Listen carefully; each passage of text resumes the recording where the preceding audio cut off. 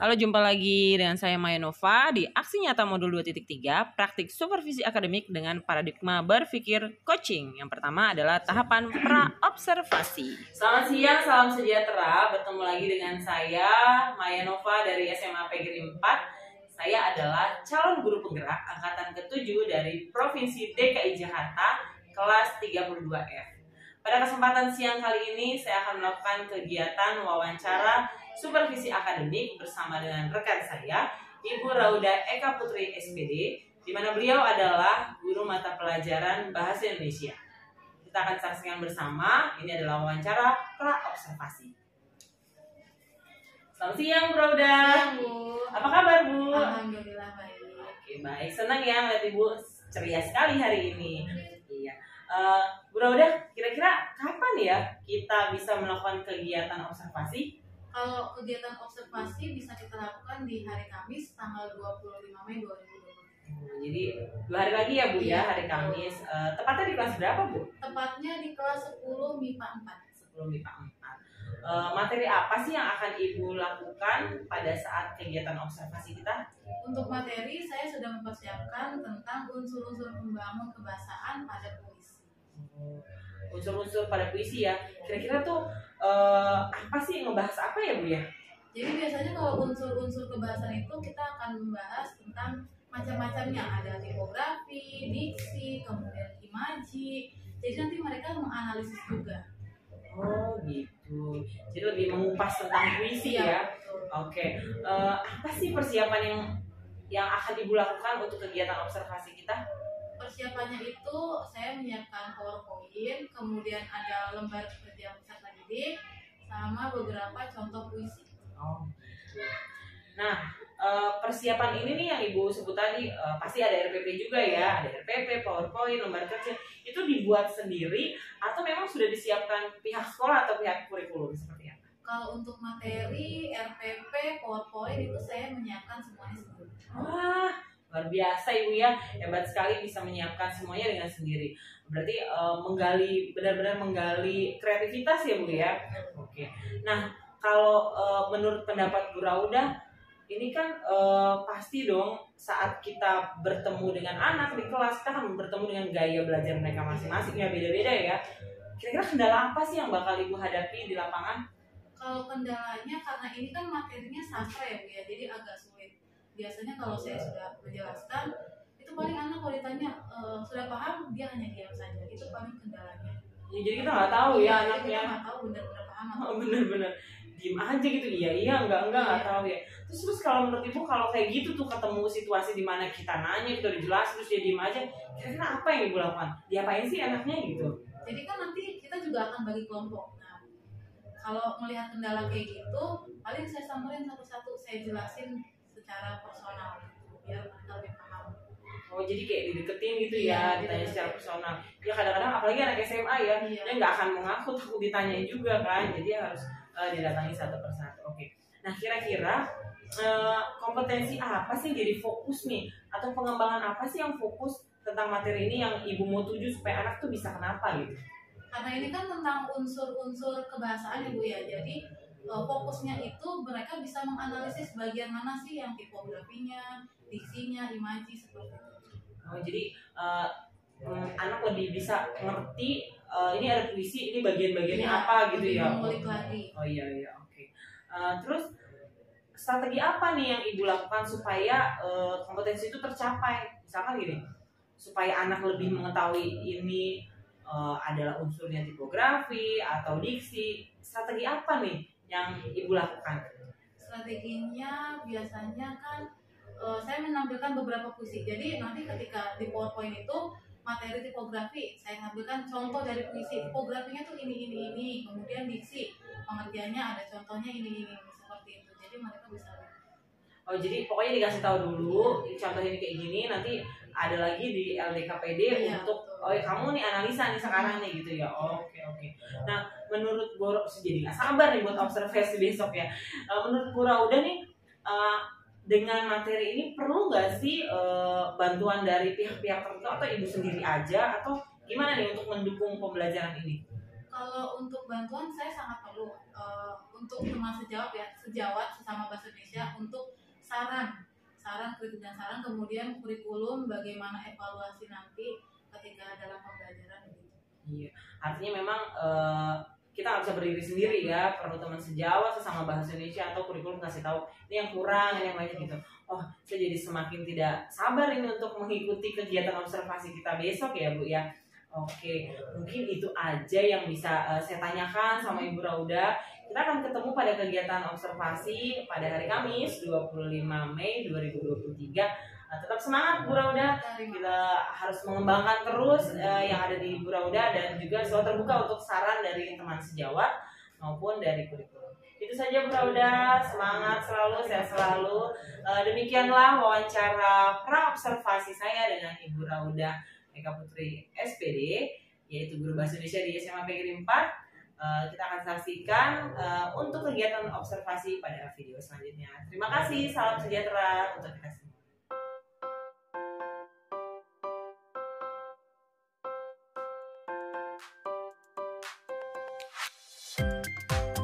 Ini adalah tahapan yang kedua yaitu tahapan observasi. Waalaikumsalam warahmatullahi wabarakatuh. Selamat pagi semuanya. Pagi Bu. Gimana kabarnya sehat? Baik. Oke, karena minggu lalu kita sudah membahas eh, materi puisi tentang unsur-unsur batin kan? Ya.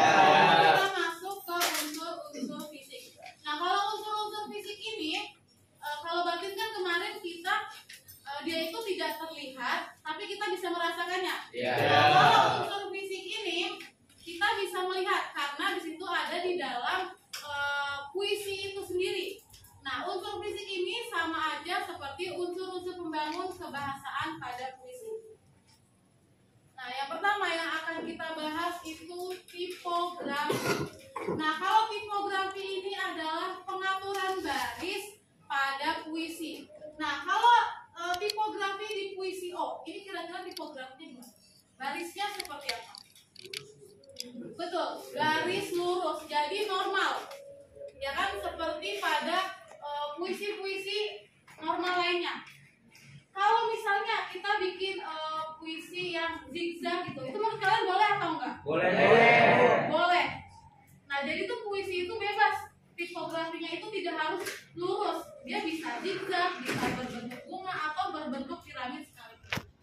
Kemudian ada diksi. Nah, kalau diksi ini adalah pemilihan kata yang digunakan oleh penyair. Nah, kira-kira di puisi O ini diksinya seperti apa? Apa ada dukaku, duka kau? diksi diksi itu pemilihan kata kalau diksi itu kan kemarin nadanya nah kalau diksi ini eh, itu suka-suka penulis suka-suka penyair. Jadi bebas. Kita di sini eh, apa maksudnya? Kita nggak bisa mengartikan karena cuma dukaku duka kau duka risau nah ini hanya dimengerti oleh si atau si penyair. Kemudian ada imaji atau citraan. Apa itu imaji? Jadi kata yang bisa eh, mencakup indera, indera pendengar, indera peraba. Di sini ada macam-macam citraan atau imaji. Pertama ada citraan visual. Apa citraan visual? Betul, yang bisa kita lihat contohnya. Misalnya apa? Lampu. Itu kan bisa kita lihat. Bangku. Itu kan bisa kita lihat. Kemudian ada citraan auditif atau pendengaran. Contohnya Musik, suara, musik, suara gemuruh, suara kilat. Nah, itu kan kita bisa mendengar. Itu termasuk citraan auditif. Kemudian ada citraan peraba. Contohnya gimana? Peraba itu contohnya halus, kasar, lembut itu termasuk citraan peraba. Kemudian yang ketiga citraan penciuman. Apa contohnya? Bau,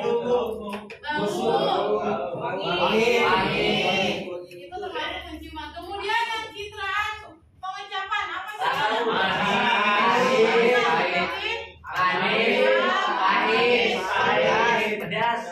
Nah, itu Asam. termasuk citraan atau imaj. Kemudian ada majas. Majas adalah apa? Gaya Dengan melukiskan suatu konotasi khusus. Jadi tidak dengan makna yang sebenar. Nah, kemudian ada majas simile. Ini adalah macam-macam majas yang biasa digunakan pada puisi. Yang pertama ada simile. Apa majas simile? Biasanya menyamakan satu atau lain Menggunakan perbandingan. Perbandingan Apa kira-kira di sini majasnya bagaimana? Menyamakan satu hal dengan hal lain dengan menggunakan perbandingan. Apa kira-kira di sini di puisi lagu siu majasnya itu di bagian mana? Habis hangus bu. Ada di terang Celong cahaya. Di sini juga bisa. Heran, ini badan yang selama berjalan habis hangus di api matamu. Di sini kan badan tidak mungkin hangus di api matamu. Jadi ini adalah perbandingan. Kemudian yang kedua ada majas metafora. Apa? Majas metafora. Perbandingan tidak menggunakan kata perbandingan. Contohnya di sini kira-kira majasnya di bagian mana? Umi ini perumpamaan. Perhatian, panggilan untuk Riang kelas 10 IPS 3 segera ke meja piket sekarang. Gimana? Sekali lagi panggilan untuk Riang kelas 10 IPS 3 segera ke meja piket sekarang. Laki-laki yang jantan dan pertama.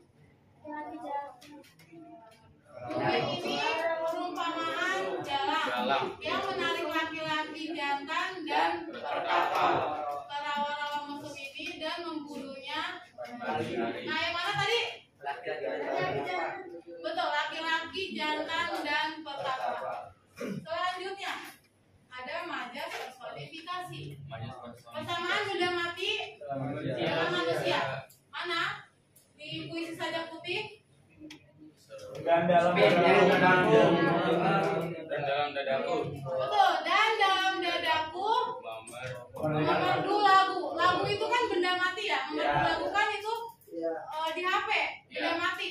Sementara dadaku kan manusia. Manusia. Betul. Kemudian ada rima atau irama. Atau apa rima atau irama? Perhatian, panggilan untuk Agnes Teti kelas 11 MIPA 2 segera ke meja piket sekarang. Sekali panggilan untuk Agnes kelas 11 MIPA 2 segera ke meja piket sekarang.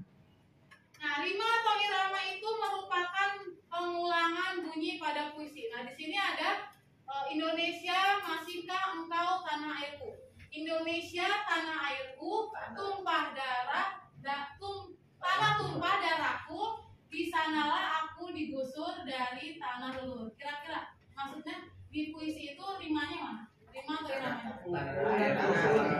Ya itu tanah airku belakangnya u, kemudian tumpah darahku belakangnya u.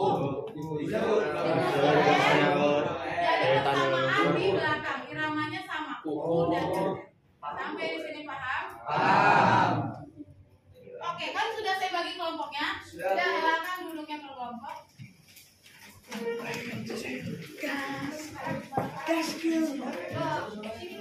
Enam, enam, enam. Wil, Wil, gimana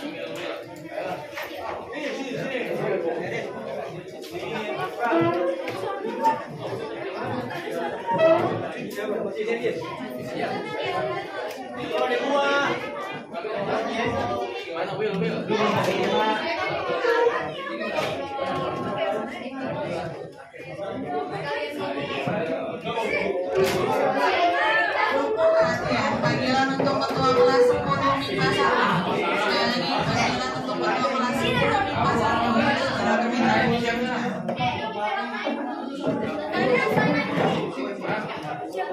Udah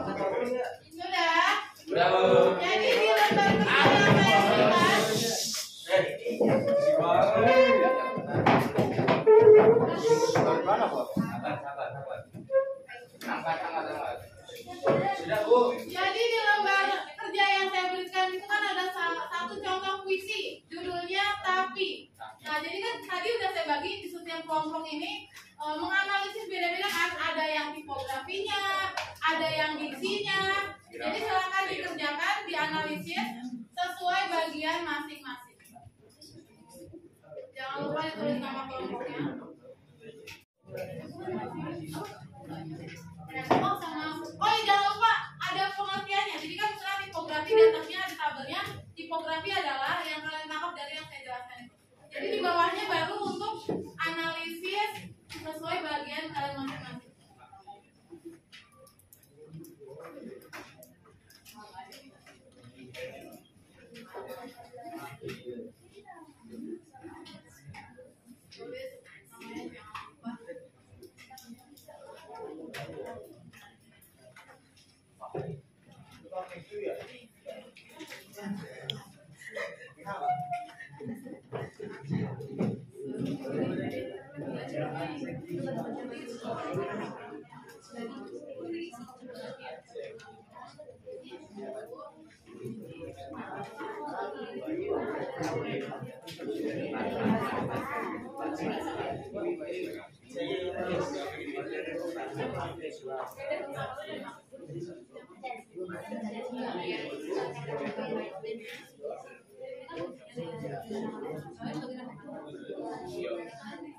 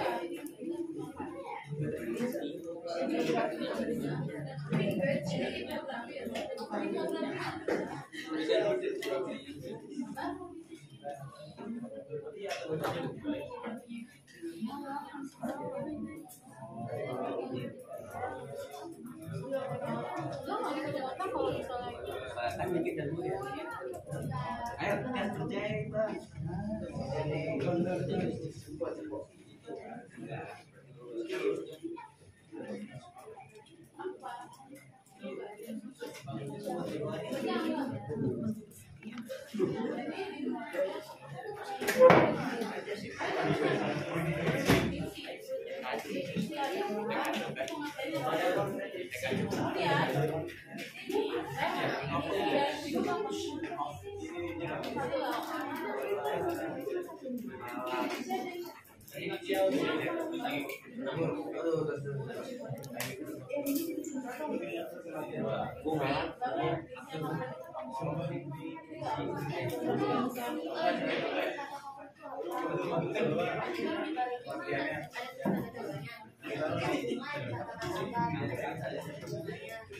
di depan kantin.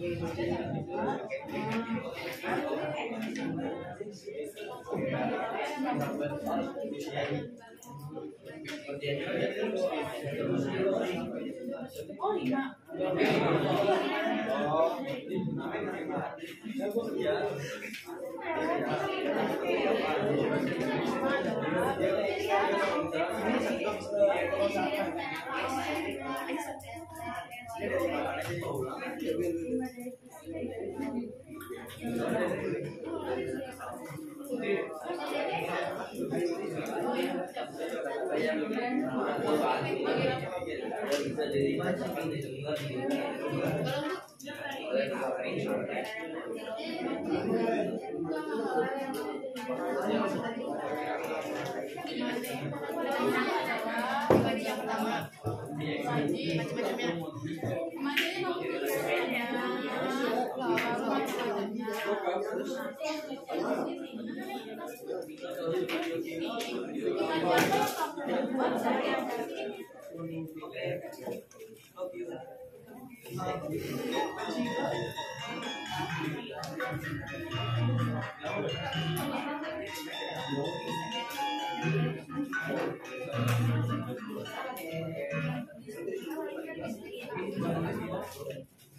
Perhatian memasuki jam kelima. Sekali lagi memasuki jam kelima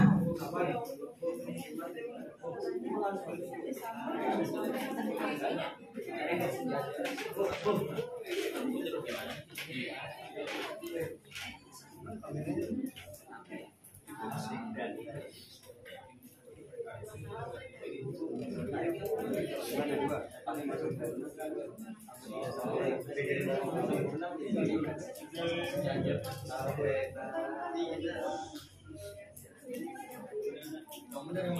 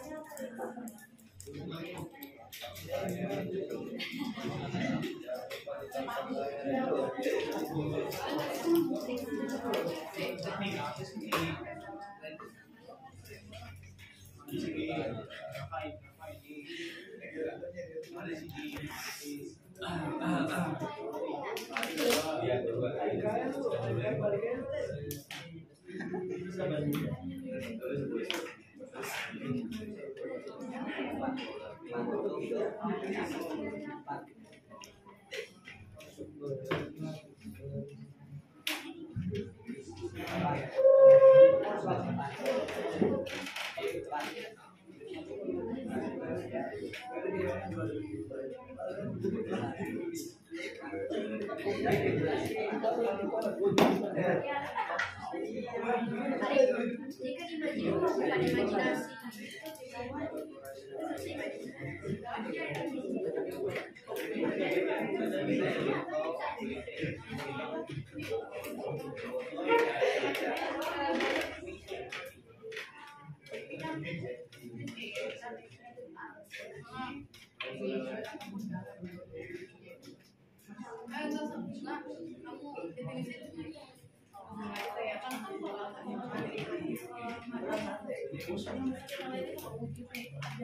La acción de la.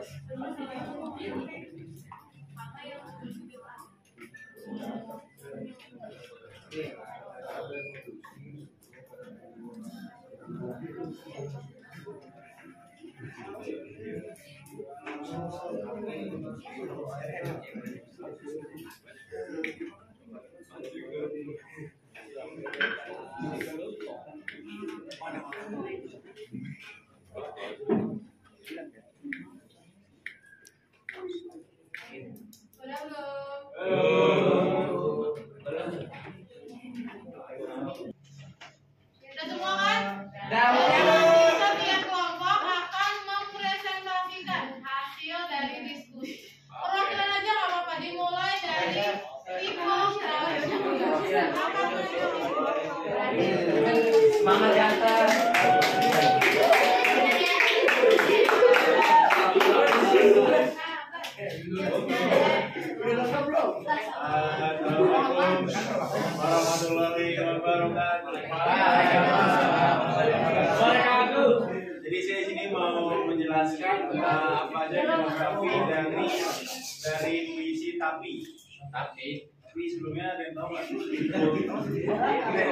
Sebelumnya ada yang tahu uh, tapi itu bercerita tentang apa ya? Ayat, ayat. Tadi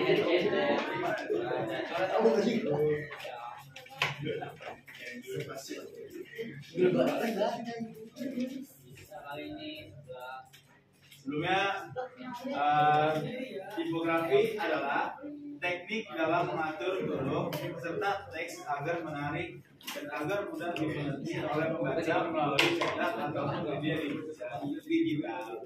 Nah, untuk tipografi pada teks puisi yang berjudul itu eh, secara tipografi yang membagi laring jadi dua. Penempatan tinggi rendahnya laring berbeda-beda antara laring sebelah kanan dengan sebelah kiri.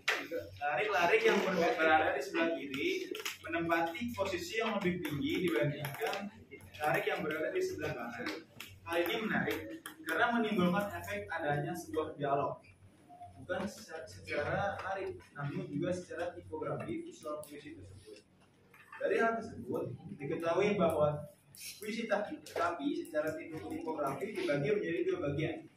Bagian pertama adalah larik-larik yang berada di sebelah kiri dengan bentuk dan struktur kalimat yang, yang serupa dan berada menempati posisi di. Bagian kedua adalah larik-larik yang berada di sebelah kanan menempati posisi yang lebih rendah dan larik-larik memiliki struktur yang sama. Puisi tapi memiliki makna tentang hubungan seseorang hamba dengan Tuhan. Hal ini dibuktikan oleh tipografi puisi yang digunakan.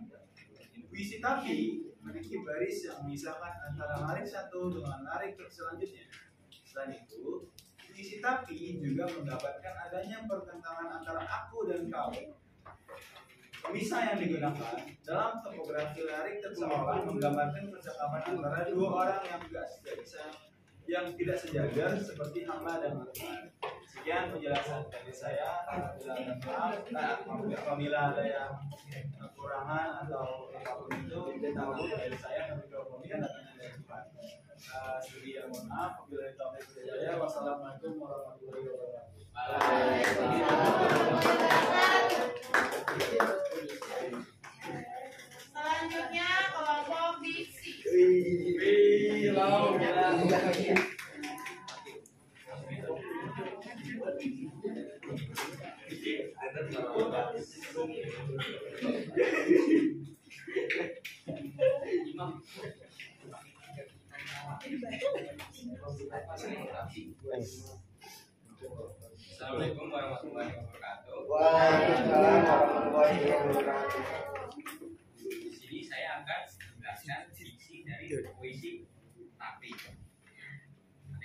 diksi itu apa?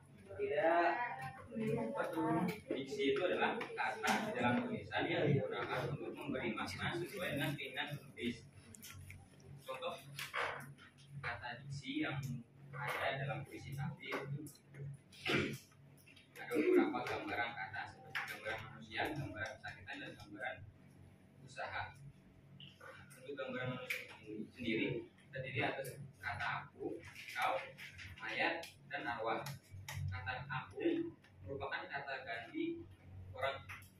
yaitu kata ganti orang pertama dan kata ganti orang kedua. Namun kau dalam puisi ini bukan merupakan gambaran manusia, tetapi makna sebagai Tuhan. Kemudian ada mayat. Mayat adalah bentuk jasad dari manusia yang telah meninggal dunia. Dalam puisi ini, si aku adalah manusia yang jadi mayat. Ini tentu mayat dari manusia. Sedangkan arwah adalah roh atau berupa benda yang kita kenal sebagai jiwa dan sebuah makhluk yang salah satunya dimiliki oleh makhluk hidup berupa manusia. Kata arwah sendiri bisa kita masukkan pada gambaran manusia karena arwah yang tertera dalam puisi adalah arwah yang dibawa oleh si aku. Ini sekian dari saya. Misalkan ada salah kata, datangnya dari saya. Dan kebenaran hanya milik Tuhan. Assalamualaikum warahmatullahi wabarakatuh.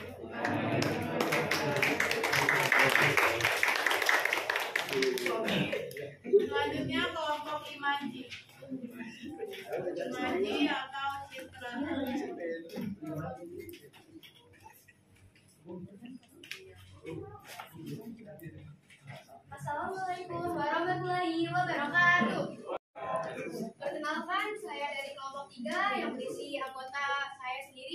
Islam ini dan lalu dengan teman-teman saya Aisyah Larasati, Raden Ahmad, Yoel Revaldo, Cesario Angga dan Said Muhammad Arif. Dikarenakan saya membawakan imaji, maka saya akan membawakan kuis yang kali ini kita pelajari yang berjudul Sakti. Untuk eh, kita mengerti isinya, kita, kita, saya dan kalian agar mengerti kalau imaji yang terkandung dalam puisi Sakti.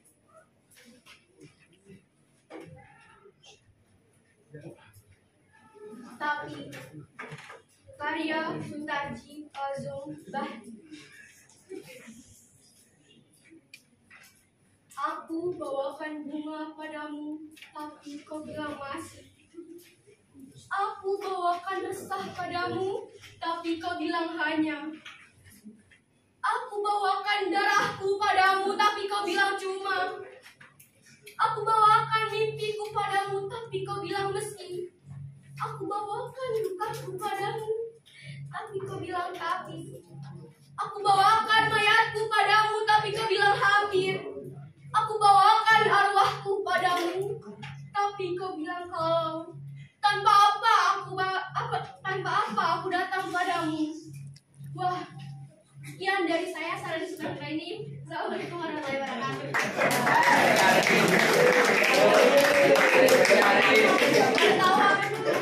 Jadi di sini dari unsur unsur dalam tema ini kita dapat lihat ya tentang karya Sutarji Bahri ini yang berjudul Bakti di antaranya adalah hubungan antara seorang hamba dengan Tuhannya yang berisi tentang imaji yang dimaksud imaji yaitu Imaji adalah gambaran, kesan, bayang-bayang atau yang ada di dalam pikiran pada saat kita membayangkan, mendengar atau mengingat sesuatu. Macam-macam ini. Imajinasi adalah imaji visual.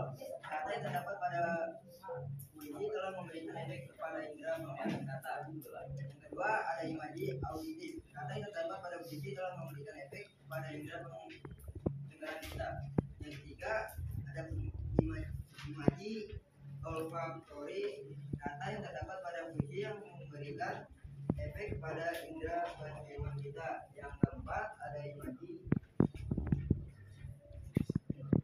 Ada imaji taktil. Kata yang terdapat pada puisi telah memberikan efek kepada indera penglihatan kita. Yang kelima ada imaji statik kata yang terdapat pada puisi telah memberikan efek kepada indera penglihatan kita. Dan yang keenam ada imaji rasa kata yang terdapat pada puisi telah memberikan efek kepada indera perasaan kita Oke, dari sini kita dapat mengisi tentang isi dari puisi tapi dari yang tadi saya ucapkan ada yang ingat gak tadi ada berapa macam dari imaji itu? Empat empat. Enam.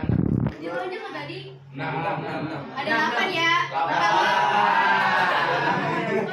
Ya, pertama tuh imaji, imaji visual, auditif, olfaktori, taktil, gustatif, imaji rasa. Dan yang dari saya baca itu tadi, menurut saya itu dari indera perasa. Dikarenakan ia membuat eh, efek dari indera perasaan kita. Itu kan tadi ada apa tuh? bahasanya kan ada yang sedih terus ada yang nadanya nadanya tinggi itu berarti kan mengandung imaji rasa ya berarti puisi tapi menurut kelompok saya itu mengandung dari imaji rasa yang mengakibatkan efek indera perasaan Oh iya iya. sekian dari saya dari wassalamualaikum warahmatullahi Selanjutnya kelompok majas.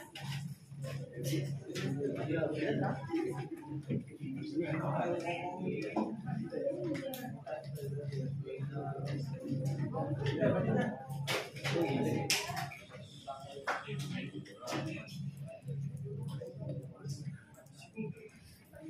saya perwakilan dari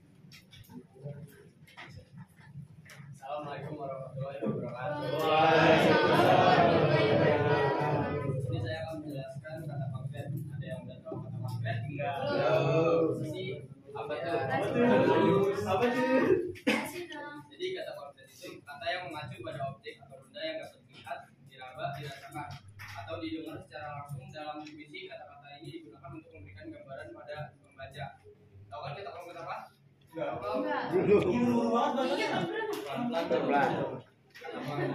Kata yang mengacu pada objek atau benda yang dapat dilihat, diraba, dirasakan, atau didengar secara langsung. Dalam puisi, kata-kata ini digunakan untuk memberikan gambaran pada pembaca. Kan?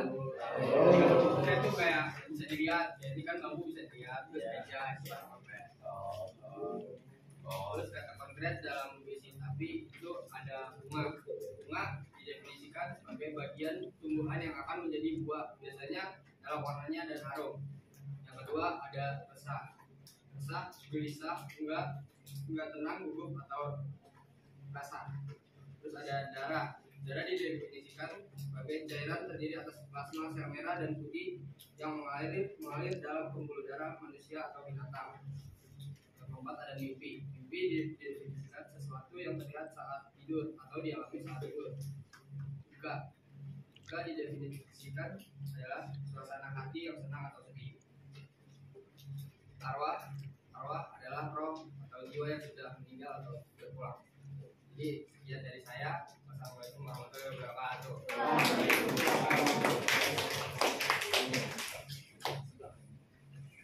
Terakhir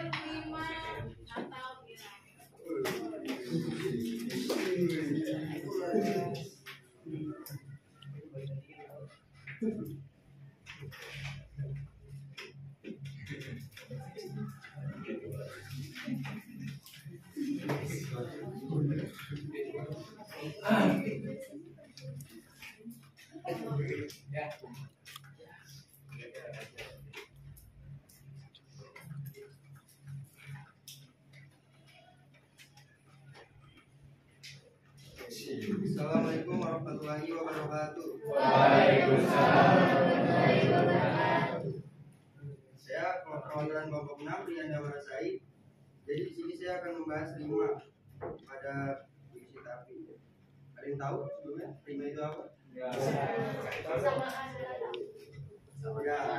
sebetulnya gitu. Itu eh, pengulangan. Jadi lima itu pengulangan bunyi yang berselang baik dalam lari, sejak atau pada akhir hari, sejak yang berdekatan atau secara singkat. Nah, di puisi tapi ini unik banget ya. Jadi rimanya ini ada dua. Yang satu rima sejajar. Rima sejajar itu persamaan bunyi yang berbentuk sebuah kata yang dipakai berulang-ulang pada lari puisi yang mengandung kesejajaran maksud terletak pada menyeluruh baris pada puisi. Dapat dilihat dari pengulangan katanya itu aku bawakan padamu tapi dan bilang. Nah, lima yang keduanya ini ada lima tak sempurna. Lima tak sempurna itu eh, persamaan bunyi yang terdapat pada sebagian suku kata tetap terakhir terletak pada baris 13, 14. Contoh kalimatnya itu aku bawakan arwahku padamu tapi kau bilang kalau. Ya segitu terima kasih.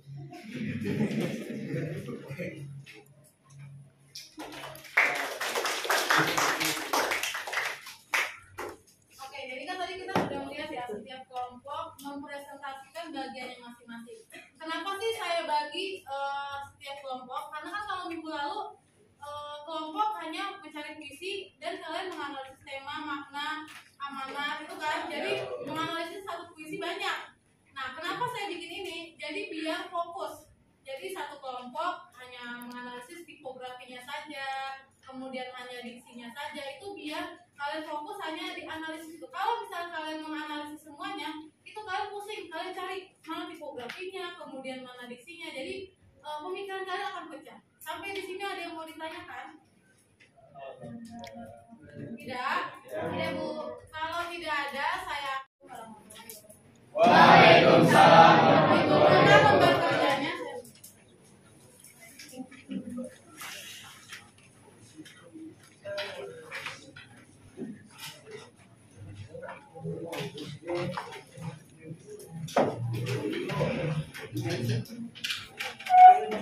Dari Adi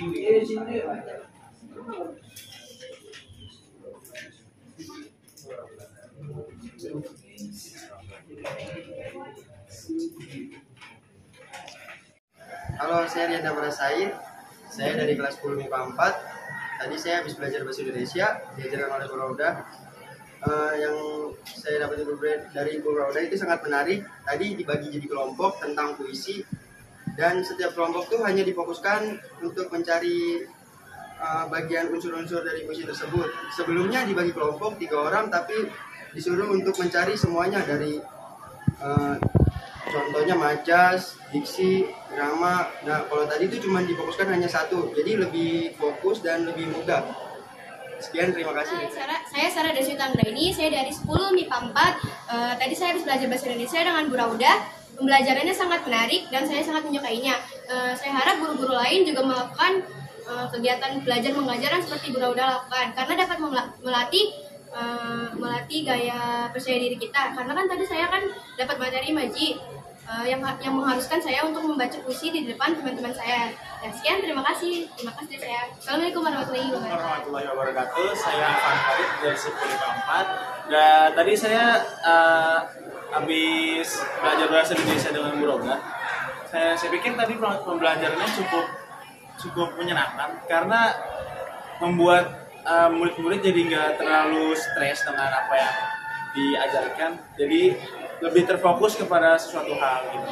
Dan saya harap juga sih eh, guru-guru yang lain juga membawakan eh, mata pelajaran seperti yang dibawakan oleh Roga. Sekian dari saya, terima kasih. Assalamualaikum warahmatullahi wabarakatuh. Saya kelas 10 MIPA 4. Baru tadi saya dan teman-teman saya diajarkan bahasa Indonesia oleh Ibu Rauda. eh, yang menurut saya cukup menarik karena eh, pembelajaran kali ini cukup berbeda karena dibagi dua dibagi enam kelompok dan masing-masing kelompok hanya dipilihkan eh, satu unsur dan membuat kita menjadi lebih fokus akan pembelajaran. Terima kasih. Ini adalah tahapan pasca observasi praktik supervisi akademik dengan paradigma berpikir coaching. Dari SMA PGRI 4 Jakarta, saya adalah calon guru penggerak angkatan ke-7 dari Provinsi DKI Jakarta. Pada kesempatan kali ini saya bersama dengan pengajar praktik kami yaitu Bapak Budi Prasetya. Selamat pagi. Kami adalah CGP dari kelas 32F. Dan kesempatan kali ini juga saya bersama dengan rekan sejawat saya yaitu Ibu Rauda Putri Eka, SPD, yang adalah guru bahasa Indonesia di SMA PGRI 4 Jakarta. Pada kesempatan kali ini saya akan melakukan kegiatan wawancara supervisi akademik yaitu tahapan observasi di mana sudah sebelumnya sudah melakukan kegiatan pra observasi. Berikut ini wawancara kami. Selamat pagi Bu Rauda. Pagi Bu. Apa kabar Bu? Alhamdulillah Senang ya melihat Ibu bahagia hari ini. Eh, kemarin kita sudah selesai mengikuti kegiatan observasi ya Bu ya. Iya betul. Gimana nih perasaan Ibu setelah melakukan kegiatan observasi? Alhamdulillah senang setelah melakukan kegiatan observasi lega juga Eh, kemarin itu di kelas berapa ya Bu ya? di kelas 10 MIPA 4. 10 4. Eh, materi puisi, materi puisi ya Bu. Tentang apa tuh Bu lebih tepatnya? Lebih tepatnya itu unsur-unsur pembangun kebahasaan pada puisi. Oh, sesuai yang sudah kita rencanakan ya di Iya.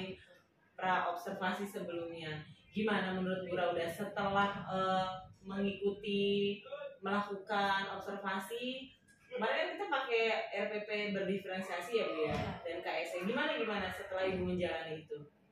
Karena kan saya belum terlalu memahami ya, jadi masih ada beberapa yang kurang sih kalau menurut saya. Oh, jadi ada kendala ya Bu Iya ya? kendalanya. Apa sih kira-kira kendalanya Bu yang Ibu rasakan? Kendalanya kalau eh, RPP berdiferensi itu kan pembagian kelompoknya berdasarkan minat ya. kalau ini saya yang bagi jadi berdasarkan absen Oh gitu. Iya. Eh, dengan ibu nggak sesuai, ini menurut ibu ketika menjalani KBM-nya apa yang dirasakan di kelas itu bu Eh, terhadap para siswanya tuh? yang masalah pembagian ya Mm. kalau pembagian karena berdasarkan absen jadi di satu kelompok itu mungkin hanya beberapa yang mengerti gitu jadi dia juga harus menjelaskan ke teman-temannya lagi seperti Jadi kurang maksimal Iya, ya. kurang Oke. Nah menurut ibu gimana nih caranya supaya memaksimalkan eh, pada pertemuan selanjutnya atau di kelas yang selanjutnya supaya nggak terjadi seperti itu? Gimana menurut Bu Rauda? Eh, selanjutnya mungkin saya akan menyebarkan angket terlebih dahulu Eh, anak ini maunya minatnya ke mana nih gitu jadi biar untuk pertemuan selanjutnya kita bisa dibagi berdasarkan minat Oh iya betul jadi bagi angket ya sesuai Iya, kebutuhan ya. Kira-kira siapa bu pihak yang terkait kalau begitu yang eh, membantu ibu untuk supaya kegiatan itu berjalan lancar itu ada nggak sih pihak yang perlu dikaitkan? paling eh, pengurus kelas itu penting untuk membantu saya sama kurikulum Itu ya. Hmm. Hmm, ya jadi pengurus kelas bisa membantu nge-share gitu Iya, maksudnya ya betul. bu. Oke. Eh, ada lagi nggak kendala selain tadi pembagian kelompok karena nggak sesuai? Kemarin tuh pas observasi apakah ada lagi? mungkin karena saya kurang ice breaking gitu. Oh iya iya iya. Nah sekarang suka ice breaking ya? Iya, mereka lebih suka ice breaking biar lebih fresh otaknya. Apa yang ibu rasain? Kok ngerasa kurang ice breaking? Emang ibu nggak pakai ice breaking ya kemarin ya? Enggak, saya lupa. Oh lupa. Iya. Kendalanya gitu terlupakan ya. Oh jadi menurut ibu tapi penting itu. Penting, sangat penting biar mereka lebih fresh, biar apa yang kita jelaskan itu lebih masuk Karena ngena emosional ya. Oke. Terus gimana nih caranya menurut ibu nih? Eh, untuk supaya ibu nggak lupa nih, gimana nih solusinya nih untuk pertemuan pembelajaran selanjutnya nih? Mungkin eh, karena ini kan dievaluasi lagi, jadi biar lebih masuk lagi saya mengingat-ingat eh, untuk memasukkan ice breaking di setiap pembelajaran saya. Gitu.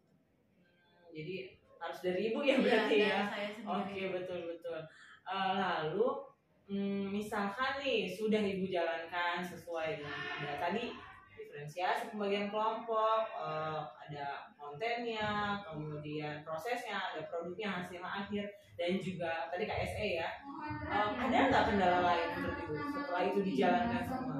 Kendala lain mungkin eh, anak-anak sedikit bosan kali ya karena kurang paham beberapa anak itu. Jadi itu mereka ikut aja ke teman-temannya gitu. Jadi mereka kurang masuk ke kelompok itu. Itu kendalanya paling. Kendalanya itu. Oh jadi nggak semua eh, apa namanya? Nggak semua fokus gitu ya? Iya, karena kan tidak berdasarkan minat. Oke oke. Nah kalau udah begitu kemarin pas observasi apa yang ibu lakuin? Ini kan nggak nggak berjalan ya kan? Adalah yang tidak menjalankan dengan baik. Apa yang ibu lakukan kemarin? Paling saya samperin setiap kelompok, saya tanya ada yang belum paham nggak? Kalau misal belum paham, saya jelasin sedikit-sedikit gitu. Nanti temennya ngebantu.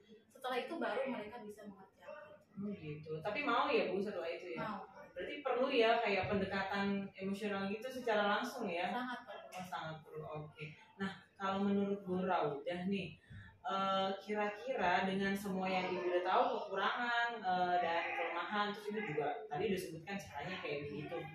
Kira-kira eh, skala 1 sampai 10 nih.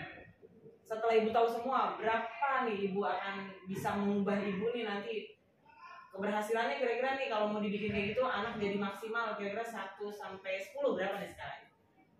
Delapan. 8 ya? Kalau sebelumnya berapa nih sebelum tahu? Sebelumnya enam. Oh sebelumnya 6 berarti banyak kemajuan ya? Iya. Oke luar biasa sekali nih Bu Rauda nih. Nah eh, itu sih yang sebenarnya kita harapkan ya ada perubahan seperti itu. Nah eh, apa lagi nih kira-kira yang ibu mau buat nih kira-kira eh, untuk biar lebih mantap selain tadi mau diferensiasi kemudian KSE ada lagi nggak supaya Mungkin- siswa lebih ini Metode kali ya, seperti yang udah dijelaskan mungkin metode problem. Mereka harus dikasih masalah biar lebih menganalisisnya tuh lebih kritis lagi gitu. Karena kan yang biasa kemarin itu hanya mereka menganalisis satu puisi. Tidak ada masalahnya. Mungkin eh, pertemuan selanjutnya saya kasih masalah, jadi mereka menganalisisnya lebih kritis lagi. Bisa mengeluarkan. Lebih menggali ya. lebih Kalau berarti kemarin itu baru unsur ya. Iya, berarti kita akan tunggu nih ya Bu ya pembahasan dengan problem pada bahasa Indonesia gitu Iya, kan. betul. Kan orang mikirnya wah bahasa Indonesia cuma eh, sama Melisa doang ternyata ada masalah itu yang akan ibu buat ya Iya. oh saya jadi lebih semangat nih bu mau lihat nih kapan nih ibu melakukan apalagi tadi skalanya 6 sampai 8 Iya. ya kan kira-kira kapan ibu ibu mau melakukan itu yang tadi ibu bilang mau diperbaiki mau apa namanya dibuatkan RPP diperbaharui dengan metode problem kapan nih rencana ibu nih kira-kira mungkin di pertemuan selanjutnya pertemuan selanjutnya ya itu ada di kelas berapa ibu saya mau lihat jadwal nanti berarti oh iya saya ada Oh, ada jadwalnya. Berarti minggu depan ya? Iya. Minggu depan. Wah, saya tunggu kabar baiknya nih dari Bu Rauda. Ya, jadi memang eh, apa namanya?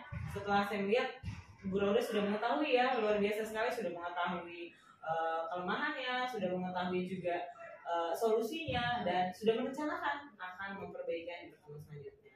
Saya terima kasih sekali buat Bu Rauda untuk kesempatannya eh, bisa sama-sama kita melakukan kegiatan eh, supervisi ini.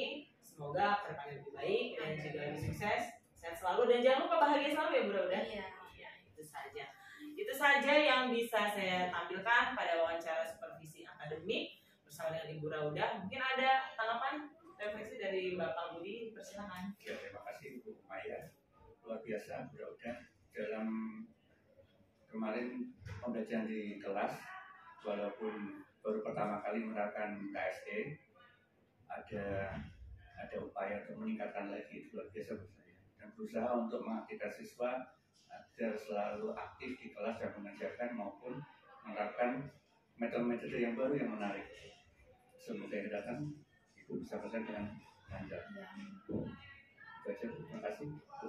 Baik, terima kasih Bapak Budi. Eh, terima kasih sekali lagi eh, kepada Bapak Budi selaku pengajar praktik yang sudah hadir pada kesempatan kali ini dan juga terima kasih yang sebesar pula kepada rekan sejawat saya Ibu Rauda. Semoga kita semua diberikan kesehatan sehingga bisa mencerdaskan kehidupan bangsa. Itu saja dari saya. Sekian dan terima kasih. Semoga bermanfaat.